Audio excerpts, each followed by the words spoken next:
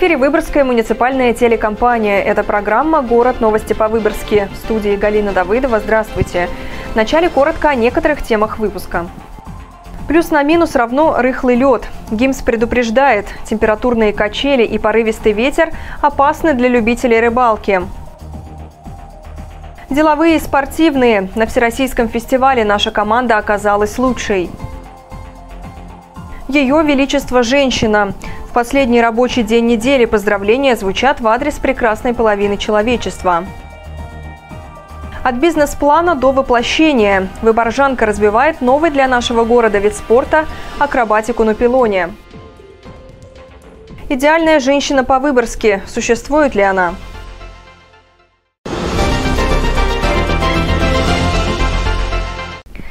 Выборжанки в преддверии Международного женского дня начали получать поздравления. К тем, кто в силу возраста или состояния здоровья не может посетить праздничные мероприятия, мужчины пожаловали в гости. Активисты молодой гвардии и Выборгского отделения партии «Единая Россия» вручили подарки подопечным Совета ветеранов и Общества инвалидов. Подробности у наших корреспондентов. Прекрасных выборжанок в канун 8 марта поздравляли по доброй традиции активисты Выборгского отделения партии «Единая Россия», молодогвардейцы, представители администрации и депутатского корпуса. Этому предшествовали приятные хлопоты. Мужской актив лично собирал сладкие подарки для милых дам с заботой и любовью. Хочется в этот э, день солнечный весенний их порадовать, э, поздравить, чтобы они немножко у них поднялось настроение, появилась улыбка. Хотелось бы, конечно же, всех женщин поздравить с наступающим весенним праздником 8 марта, пожелать всем крепкого здоровья, Дай Бог, э, чтобы мирное небо было над головой. Всех-всех с праздником, всем хорошего настроения. Весеннего настроения и улыбок мужчины желали активисткам общества инвалидов. Несмотря на ограничения по здоровью, они не теряют оптимизма и бодрости духа. Мы не совсем еще плохие. Хочется чем-то быть полезным обществу. Но как-то не получается. Молодежи очень много на колясках. И, конечно, им хочется быть чем-то заниматься. В общественном объединении «Фавориты Выборг» рассмотрят возможность для колясочников заниматься спортом. К единороссам в этот день присоединились активисты детского объединения «Класс 47». Вместе со старшими наставниками юноши поздравили дам почтенного возраста. Наши дети, волонтеры из школьного детского объединения «Класс 47» э, часто навещают пенсионеров, э, помогают им с какими-то простыми просьбами. Э, навещаем их на праздники, поддерживаем. Многие из них уже одиночки, им не хватает внимания. Э, заботимся о наших стареньких и любимых пенсионерах. Дорогие женщины, э, пусть уходящая зима унесет все тревоги и печали, а весна принесет вам хорошие сюрпризы, солнечное настроение, новые возможности и приятные эмоции. Знайте, что мы вас очень любим, и без вас не справимся. С праздником, с 8 марта. Большинство женщин любят внимание, и неважно, сколько им лет. Мужчины желали представительницам прекрасного пола весеннего настроения, крепкого здоровья и мирного неба. Чем старше человек становится, тем больше внимания ему нужно. Соответственно, в этот день мы должны поддерживать и поздравлять наших прекрасных дам, потому что в любом возрасте э, они остаются девушками красивыми и хорошими. Вот, поэтому, пользуясь случаем, хотел бы поздравить всех э, женщин, э, девушек, э, жительниц наших, нашего Выборга и Выборгского района с этим прекрасным, замечательным днем. Мужчины пожелали милым дамам счастья, чтобы их всегда окружали внимание, любовь и забота близких.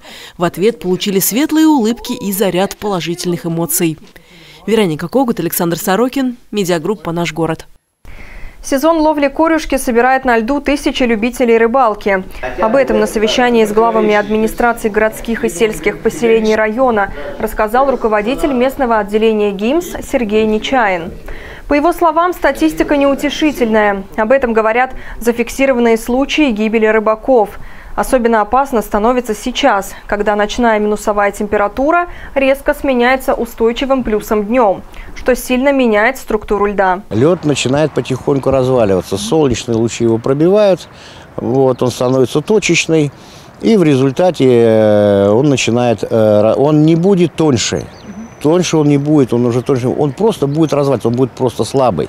Это не тот лед, который встает в самые морозы, он крепкий, даже если он тонкий. Здесь лед толстый, э, в любом варианте э, люди будут проваливаться. Э, ночной минус, он не говорит о том, что лед вырастет, нет. Относительно крепкий лед остается на озерах, но и он небезопасен. Что же касается рек и Финского залива, здесь течение размывает ледовое покрытие, делая его тонким.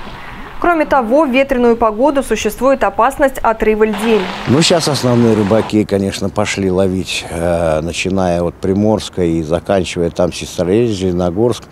Вот, там ловят корюшку. Очень много людей на льду, по тысяче, по полторы, по две тысячи человек. Э, хоть и лед там стоит нормальный, но дело в том, что все будет зависеть от того, какой будет ветер. Этот лед может оторвать, и потом, опять же, спасателям найдется работа. Они будут этих людей, с, этих льдин, которые будут уходить в море, они их будут их доставать. Глава районной администрации Валерий Савинов подчеркнул необходимость патрулирования водоемов, а также широкого информирования жителей об опасности, в том числе посредством предупреждающих объявлений на информационных щитах. Еще одной темой повестки дня стало обращение с отходами и ужесточение ответственности за нарушения.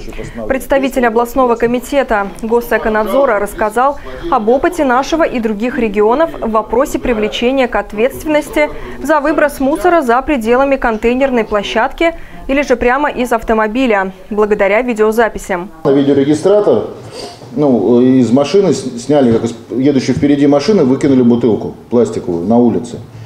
Сформировали э, видео, отправлено в ГИБДД. ГИБДД, прошу прощения, не ГИБДД, а в аналогичный нашему комитету орган, который рассматривает эти дела и выносит постановление. И в Москве э, собственник транспортного средства, даже видя о том, что с заднего сиденья была выброшена бутылка, был привлечен. Суд признал правомерным и собственник транспортного средства заплатил штраф. Так, в прошлом году на территории региона вынесено 188 постановлений по делам об административном правонарушении на сумму почти 4 миллиона рублей. Женщина-предприниматель. Насколько сложно представительницам слабого пола создавать свой бизнес – Наш корреспондент Полина Сорокина познакомилась с Ольгой Горностаевой, хозяйкой двух студий – акробатика на пилоне и балет. О том, какой путь прошла Ольга, расскажем прямо сейчас. Любимым делом Ольга Горностаева занимается около 10 лет. Официальным видом спорта акробатику на пилоне признали в 2021 году. А вот помещения, где можно тренироваться, в Выборге не было. Вместе с тем, интерес к такого рода занятиям существовал всегда. Поэтому девушка и решила открыть свою студию, чтобы передавать свой опыт юным спортсменам. Год назад Ольга прошла обучение в Центре поддержки предпринимательства. Там ей рассказали о том, что она может претендовать на получение субсидии. После чего я написала бизнес-план, и на комиссии в администрации города Выборга его признали интересным и перспективным. Я выполнила все необходимые условия и получила субсидию. Размер субсидии составил около 700 тысяч рублей. Ольга закупила нужное оборудование для зала. Работая с детьми, она могла претендовать на статус социального индивидуального предпринимателя. И буквально несколько дней назад девушка его получила. Теперь может рассчитывать на грант – Предпринимательница планирует потратить средства на развитие зала для пилонного спорта, а также на студию балета, которую Ольга открыла в соседнем помещении. С помощью гранта девушка получит возможность закупить дополнительное оборудование для занятий. Моя большая благодарность руководителю Центра поддержки предпринимательства Виталии Сергеевны, всем сотрудникам этого учреждения и отдельное спасибо Оксане Евгеньевне и Инне Викторовне за поддержку и полученные знания. Кстати, сейчас в студии Ольги Горностаевой тренируется сборная Ленинградской области. Не так давно спортсменки вернулись с областных соревнований, где заняли призовые места. А в мае девушки планируют ехать на чемпионат России. Полина Сорокина, Александр Сорокин, Артем Николаев, медиагруппа «Наш город». Еще совсем недавно в некоторых профессиях непривычно было видеть представительниц прекрасного пола. А сегодня женщины уверенно чувствуют себя в роли крановщиц и дальнобойщиц, спасателей и автомехаников. Ломают стереотипы и выборжанки. Так, к примеру, три из них работают водителями пассажирских автобусов. Сюжет Вероники Когут. Женщины могут практически все, в том числе виртуозно управлять пассажирскими автобусами. И это доказывают выборжанки. На городских и районных маршрутах работают уже три представительницы прекрасного пола. К примеру, Марины Ждановой, о которой мы рассказывали 8 марта в прошлом году, последовала Дина Кауфман.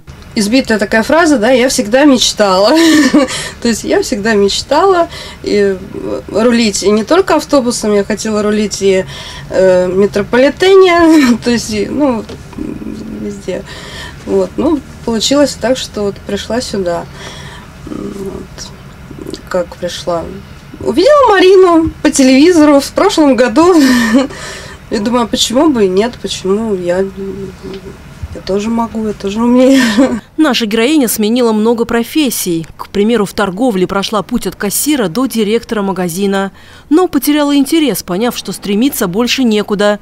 Продолжила искать себя, и вот она, работа по сердцу. Пассажиры, они всегда доброжелательны очень. Они всегда рады вообще, ну, видят, когда э, девушку за рулем, они, ой, некоторые даже придумывают себе такие, знаете, как они, приметы, что ли. Ой, девушка за рулем, значит, день сегодня будет хороший. Или там девушка за рулем, там улов у нас сегодня будет. Сугубо мужской ранее коллектив пополнила и Любовь Казаринова, и уже стала полноправной его частью. Отметку категория «Д» в водительских правах получила 11 лет назад. Но тогда, в силу обстоятельств, так и не решилась исполнить свою мечту. Наконец, желание осуществилось. Как любой человек из себя искал, да? Э, вообще, я по образованию секретарь. Вот. Но у меня есть и бухгалтерские курсы оконченные. Потом я решила, что я хочу быть поваром, я стала поваром. Вот. Потом я решила, что мне надо быть кондитером. Я вошла в кондитерскую как бы, деятельность. В 2019 году я говорю, получила лучший кондитер Ленинградской области. Вот.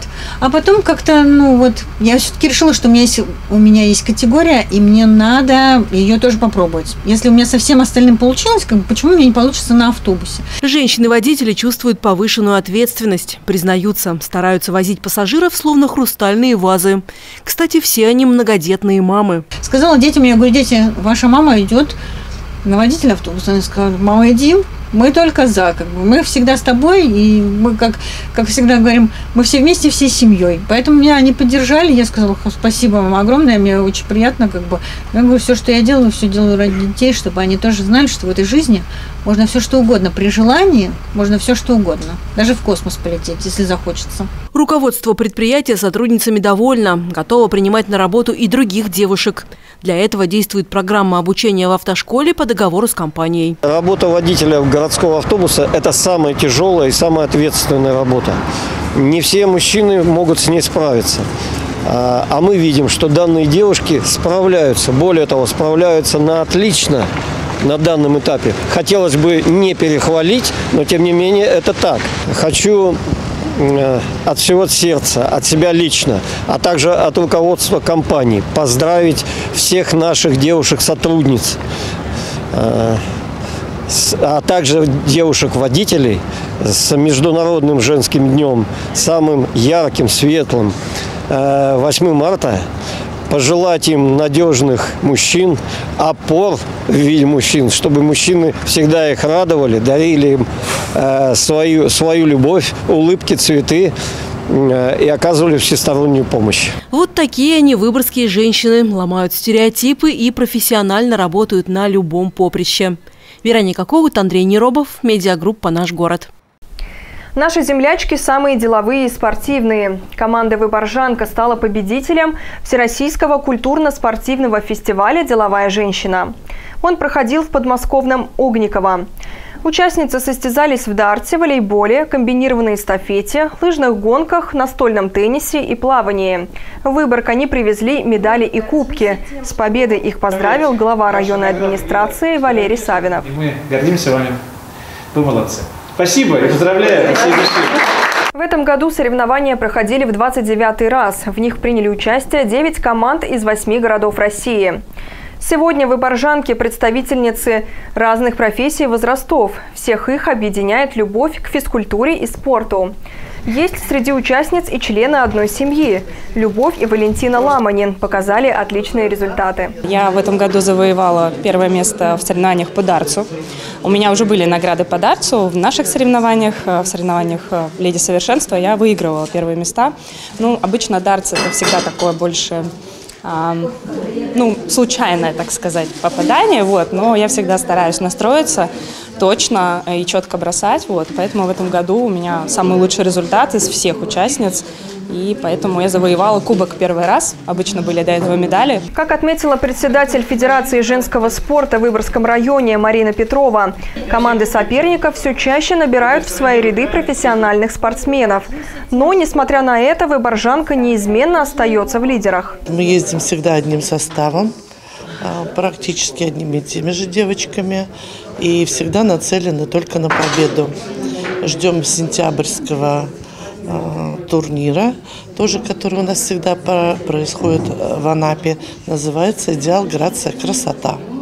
Тоже надеюсь на победу. Всех поздравляю. Впрочем, до сентябрьского турнира в Анапе наша команда выступит на областном фестивале «Леди совершенства», который пройдет в Выборге с 19 по 21 апреля. Ум или красота? Блондинка или брюнетка? Утонченная или спортивная? Как выглядит идеальная женщина в глазах окружающих? Ответы на эти вопросы в следующем репортаже. Идеальная женщина по-выборски. Перед главным женским праздником мы решили порассуждать о том, какая же она идеальная женщина. Блондинка или брюнетка, а может быть у нее должны быть длинные рыжие локоны. В каждой эпохе был свой стандарт красоты и идеала. Попробуем разобраться в современном образе. Для ребенка идеал – это, конечно, его мама. Сейчас мы находимся на выставке работ воспитанников детской школы искусств. Вот их версия идеальной женщины. У каждого свой особенный образ.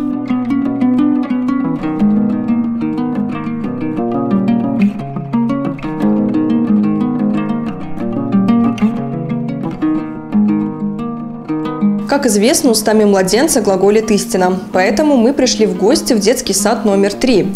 Правда, мы не хотим услышать от малышей какие-то слова. Наша цель – взглянуть на то, как они видят своих мам.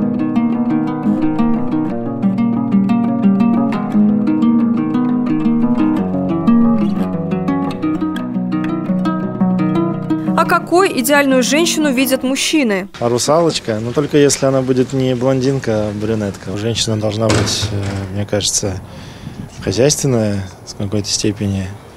А, оправдывать, ой, не оправдывать, а принимать все э, качества мужчины, которые рядом с ней. Э, ну и просто должна всегда радовать мужчину. Если внешность, то это ближе к античным статуям.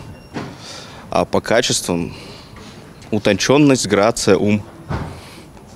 Ну и манеры, манеры. Женщина украшает манеры. Человеческая жизнь, она должна балансировать между двумя максимумами.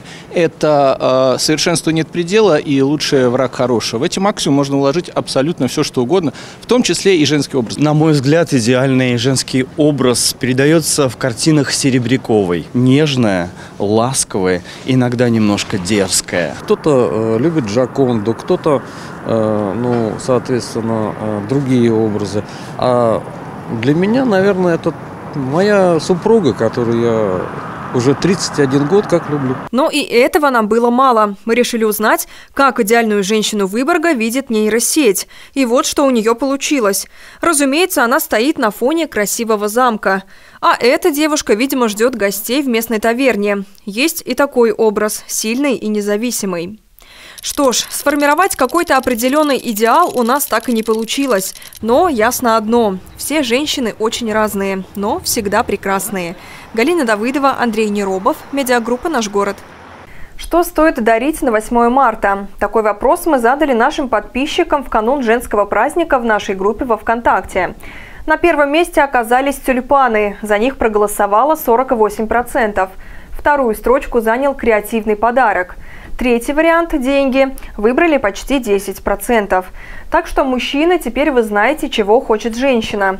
И, конечно, каждая ждет теплых слов и признаний в любви. Ведь милые и прекрасные, как известно, любят ушами. Милые дамы, счастлив предоставившейся мне возможностью поздравить вас с Международным женским днем. А, я вам хочу напомнить, что Господь нас так любит, что исполняет все наши желания. А другое дело, что Он не всегда может разобраться, что именно мы хотим. Поэтому я всем желаю понять, чего вы хотите, и, несомненно, это исполнится. И я хочу признаться вам в любви. Я вас люблю. Желаю вам большого здоровья, большой любви, счастья в семейной жизни. 8 марта поздравляю всех женщин э, с праздником. Хочу пожелать всем здоровья, э, всем женщинам, им, им, их близким. Ну и чтобы все было хорошо, чтобы поменьше было проблем и побольше мирного неба над головой. Женщинам я хочу сказать ну, все хорошее, что у меня есть в душе, я вот посвящаю нашим женщинам. Поэтому я вот не лукавля вам скажу, что лучшее, что есть на свете, это женщины. Потому что мы порой их ну не то, что недооцениваем, но все держится на них. Это фундамент. Хотелось бы поздравить всех женщин с наступающим 8 марта. Пожелать оставаться такими же красивыми, э, умными, яркими, э, добрыми и всегда помнить только о хорошем и заботиться о, ближайших, о близких людях. Дорогие женщины, я поздравляю вас э, с ярким, хорошим весенним солнечным праздником. Пусть у вас всегда будет яркое, хорошее настроение, такое, как сегодня погода. Сегодня вот, э, я не знаю, видно в камере или нет, ярко светит солнце. Пусть у вас будет много-много счастья в жизни, однозначно и обязательно здоровья ко всему этому. С 8 марта вас, дорогие женщины. Поздравляю свою супругу с 8 марта. Также внучку, э, дочек всех. Дорогие мои, с 8 марта. Поздравляем всех женщин с наступающим 8 марта. Желаем им всегда оставаться добрыми, красивыми, ласковыми. Ну и дарить добро всем и излучать его. В Выборге пройдет международный передвижной кинофестиваль «Кино на службе Отечеству». В фокусе внимания специальная военная операция и действия, разворачивающиеся на территории Донбасса, Запорожья и Херсонской области. Показы уже состоялись в 28 регионах страны. Организатором фестиваля в нашем городе выступает Выборгская епархия. Он э, был э, создан ровно год назад, годовщине специальной военной операции, неравнодушными людьми, творческими э, патриотами. Так как он передвижной, достаточно мобильный, они начинают кинопоказ в Москве. Вот сейчас он уже с 19 по 22 февраля в Москве прошел, а дальше едут по регионам. И для нас, Выборгской епархии, это огромная и большая честь принимать этот кинофестиваль на Выборгской земле. Разных городах России фестивальные события уже посетили свыше 100 тысяч человек. Более 20 миллионов зрителей посмотрели фильмы. Проведены сотни творческих встреч. Фильмы документальные, но сейчас, насколько мне известно, в программу э, кинофестиваля э, будут входить и в том числе игровые фильмы. Но пока это именно такая э, патриотичная кинодокументалистика. Что касается нашего города, это же город воинской славы. Это же ответственное звание, которое носит наш город-герой, и поэтому, естественно, очень важно, особенно сегодня, когда наши соседи решили вступить в НАТО, когда выбрали курс вот на эскалацию конфликта, э, здесь, на русском порубежье, э, овладеть этой исторической памятью и применять эту историческую память к сегодняшним реалиям. Открытый кинопоказ состоится 8 марта в 11 часов в кинотеатре «Выборг-Палас». Зрители увидят фильм «Отважные», посвященный подвигу русского солдата на СВО. Гости фестиваля также встретятся с режиссером Олесей Шигиной. Легенды российского спорта проведут в Выборге мастер-классы. 9 и 10 марта в нашем городе пройдет фестиваль «Сильный лидер. Сильная страна». В нем примут участие три именитых спортсмена – Мастерством в области смешанных единоборств, бокса, дзюдо и самбо поделятся Андрей Семенов, Руслан Гасымов и Дмитрий Кудряшов. 9 марта в Выборгской гимназии они расскажут всем желающим о своем пути. Начало встречи в 15.00. Мастер-классы состоятся 10 марта в спорткомплексе на Приморской 41. Начало в 12.30. Фестиваль проводится Центром спортивно-культурного развития и благоустройства наследия при поддержке районной администрации и Дома молодежи. Вход свободный. На этом все. Напомню, что следить за самыми интересными новостями города, района и Ленинградской области вы можете в любое время суток на сайте выборг.тв и в группах Выборг ТВ в социальных сетях. Я прощаюсь с вами. Всего доброго и до новых встреч!